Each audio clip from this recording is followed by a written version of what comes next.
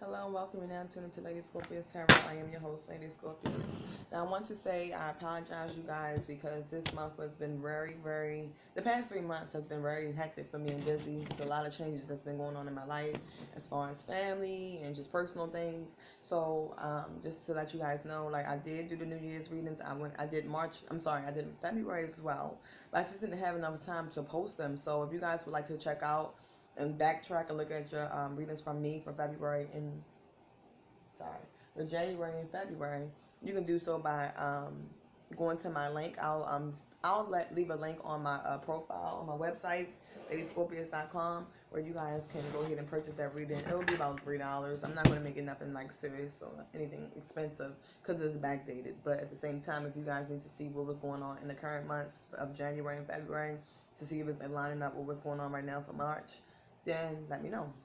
So this right now, I'm going to be doing my Scorpios because I feel like I got a lot of Scorpio friends. I'm a Scorpio sign. There's a lot of things going on with Scorpio. Um, so I'm just going to use my tarot cards today as I'm crunched for time.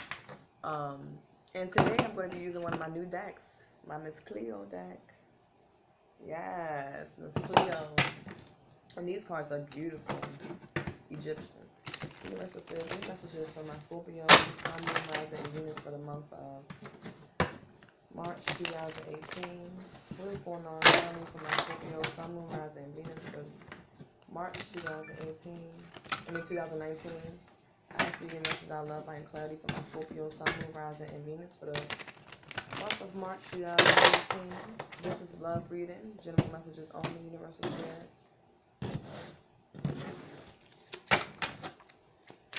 Give me three cards for my Scorpio, Sun, Moon, Rising, and Venus for the month of March 2019. Universal Spirit, Angels, Ancestors, and Guides and Masters. Ask for you give me messages I love, light, and clarity. For my Scorpio, Sun, Moon, Rising, and Venus. For the month of March 2019. Universal Spirit, give me messages for my Scorpio, Sun, Moon, Rising, and Venus for the month of March 2019. In matters of the love the heart chakra. What message do you have for my Scorpios? Okay.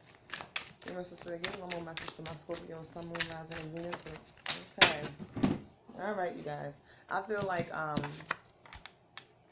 the overall energy for the month of March, we have the Queen of Coins. So I see my Scorpios just taking time out to really focus on your money, your stability, what makes you happy, having an abundance. Some of you guys can have started a new job. Um, if not, it's just you just working out your finances, or you know maybe you got a windfall of money, um, a settlement for some of you guys. Um, some of you guys definitely had a settlement because we see judgment here. So some of you guys, if you went to court to sue somebody, or maybe you was looking for some money, like a windfall of money, I do see you guys getting that for the month of March. It can also be taxes as well.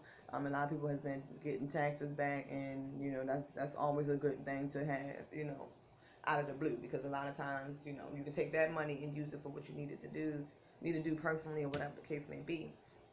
Um, but the first call we have is the nine of staff. So I do see some of you guys have been even blocking a relationship, blocking communication with somebody that you're in a relationship with, maybe friends or whatever, or this person has done it to you. Um, like I said, energies are vice versa. They can be fluent. They can go either or way. Um, so I do see some of you guys have been dealing with a fire sign, um, Leo, Sandra, Aries person that has blocked communication with you or blocked uh, relationship um, or action. They block action when it came to you. Or maybe this is how you were looking at them, like you want to block communication and all contact with them or just taking action towards them. And what we have is judgment. So with judgment, I feel like you guys have made a final decision to let it go. Like I feel like the judgment card was here. For the ones who's dealing with court cases, um, just know that it will rule in your favor if you guys are trying to get a divorce from your partner. Um, maybe you're looking for some type of like spousal support or whatever court things that you're that you're dealing with with this client. I mean, with your um your current partner.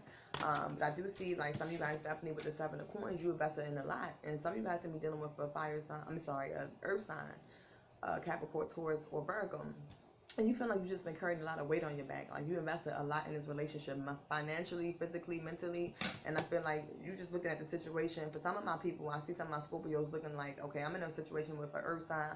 I've been carrying on a lot of dead weight or a lot of just weight. Period. I've been financially invested in this person, and I feel like it's just moving slow. Like it's not going towards towards what I needed to be. I'm kind of confused on if I should keep investing in this and carry on carrying in all this weight.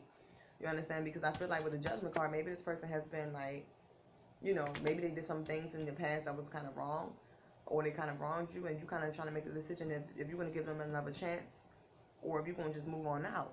But some of you guys, I see this is definitely with a marriage, and some of you guys are definitely moving on out. Okay, um, because like I feel like some of you guys have been spying on this person, or you just realize maybe you got some type of inside information, and you see that this person is just not on the same page as you. Um, for others, it's just like you feel like you need to block this person in order for you to focus. Okay. Um, let me clarify. Clarify the nine of staves for my Scorpio, Sun, Moon, Rising, Venus when it comes to love. Why is the nine of wands here with the nine of staves? my Scorpio, Sun, Moon, Rising, Venus for the month of March 2019 in love. Yeah, with the Six of Swords, some of you guys moved away from this person. Some of you guys took a break from this person and just moved away from them. You could have moved away um, like why they were gone or why they was blocking you or maybe they were out on vacation, maybe they were traveling, whatever the case may be. But I see that some of my Scorpios definitely traveled away from rocky waters into calm waters. See, some a lot of you guys definitely left your last relationships because it was just I feel like some of you guys are dealing with a lot of like instability with this relationship. Um, you invested a lot and you just wasn't seeing what you wanted to see in return. Maybe it wasn't an equal give and take. Um, but with the Six of Swords, I see some of you guys getting victory on moving forward from this relationship and moving from uh, rocky waters to more peace. You understand? Some of you guys can also have moved away and traveled, um, either traveled or went on vacation, or you found your own place and moved out of the house with this person. Okay. Um, let's see. Why is the Judgment card here? Let's get a clarify for the Judgment card for my Scorpio, Sun, Moon, Rising, and Venus for the month of March 2019. Okay yeah, I feel like um, with the Queen of Cups, this is you just working on like me. I feel like some of you guys probably gave an offer to this person, but this person like it was kind of it came up upright, but I'm looking at it upright. It came upside down. I'm seeing that this person had you off balance at one point. Maybe you feel like this person was holding you back, had you off balance with your emotions, and you just didn't feel stable with this person because we did see it come out like this, but I just flipped it up. But I feel like some of you guys just want to work on nurturing yourself, um, nurturing your feelings, nurturing how you feel. Um, being more like stable with your emotions and being grounded as well working on your riches working on building for financial uh, gain and working on your career working on money just working on loving yourself i feel like i said i feel like some of you guys definitely extended this offer to somebody but like i said with the black crow right here this person just was either like a dark soul or just really negative or just like really some of for some people you guys are dealing with somebody that was a little evil and conniving okay that's what i'm getting and so you made your judgment call on I think I believe just loving yourself first because you feel like you gave this person so many opportunities to get it right. Some of you guys you were married to this person and it just was coming in and out your life, kind of immature and had you feeling mind fucked with the Eight of Swords, okay? Because we have the Page of Swords. I'm sorry, we have the Page of Staves. Like they was coming in to try to like start something new, or maybe you guys trying to you gave them a second chance and it just they just left you with the Eight of Wands. I mean Eight of Swords, leaving you feeling like mentally fucked, like mentally mind fucked and trapped and disappointments and sorrows, and even like backstabbed you a couple times, maybe stole from you as well. Sneaky energy, okay? Lion energy. Now let's see, why is the Seven of Coins here? So I find the Seven of Coins for my Scorpio, Sun, Moon, Rising, and Venus for March 2019. Yeah, with the Wheel of Fortune, some of you guys, like, this was, um, I feel like for some of you guys, like, that's dealing with an earth sign, maybe this person has a lot of karmatic lessons that they're going through in life, and this is why they have kind of been like a burden on you, or maybe you feel like you invested a lot in this person.